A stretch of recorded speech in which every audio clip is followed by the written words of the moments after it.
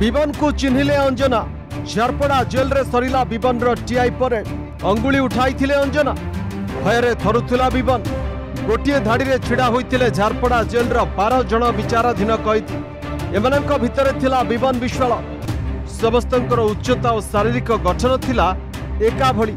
ଏ ବାର ଜଣଙ୍କ ଭିତରୁ ବାଇଶ ବର୍ଷ ତଳେ ଦୁଷ୍କର୍ମ କରି ଫେରାର ହୋଇଯାଇଥିବା ମୁଖ୍ୟ ଅଭିଯୁକ୍ତ ବିବନକୁ ପୀଡ଼ିତା ଅଞ୍ଜନା ମିଶ୍ର ଚିହ୍ନିଥିଲେ କେବଳ ଅଞ୍ଜନା ନୁହନ୍ତି ସେହି କାଳ ରାତ୍ରିରେ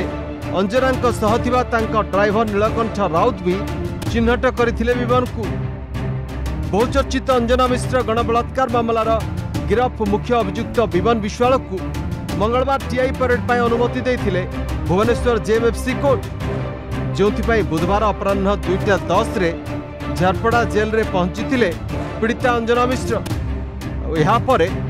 ଜେଏମ୍ଏଫ୍ସି ସୁଜାଲିନ ମହାନ୍ତିଙ୍କ ତତ୍ତ୍ୱାବଧାନରେ आरंभ होता टीआई परेड इस समय अंजना उपस्थित थे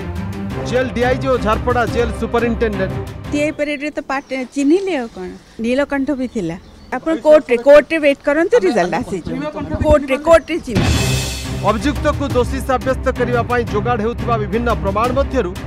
एक बलिष्ठ प्रमाण हो टीआई परेड ए परेड प्रकृत अभियुक्त को पीड़िता चिन्हले पीड़िता पक्ष अधिक बलिष्ठ होता है কিন্তু অভিযুক্তଙ୍କୁ পীড়িতা ଚିହ୍ନି ନ ପାରିଲେ ମଧ୍ୟ ଅନ୍ୟ ପ୍ରମାଣ ଆଧାରରେ କୋର୍ଟରେ ଦୋଷୀ କରାଯାଇପାରିବ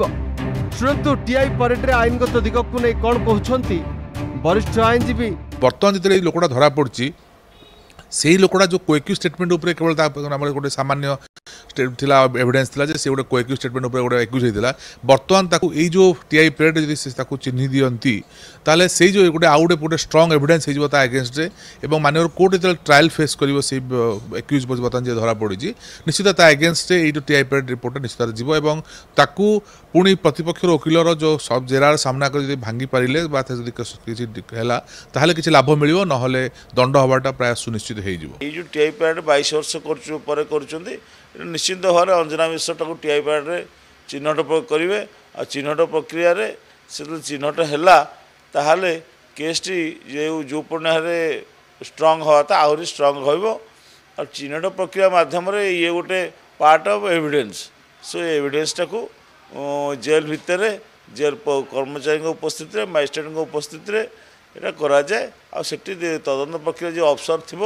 ସେ ଉପସ୍ଥିତ ରହିବ ନାହିଁ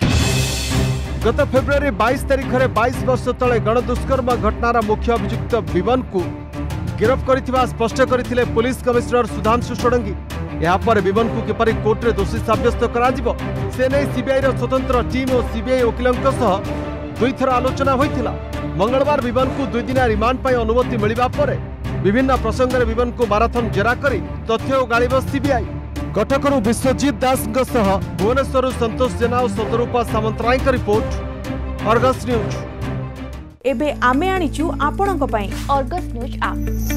Google Play store କିମ୍ବା ଆପଲ୍ ଆପ୍ ଷ୍ଟୋରକୁ ଯାଆନ୍ତୁ ଅର୍ଗସ୍ ନ୍ୟୁଜ୍ ଟାଇପ୍ କରନ୍ତୁ ଆଉ ଅର୍ଗସ୍ ଆପ୍ ଡାଉନଲୋଡ୍ କରନ୍ତୁ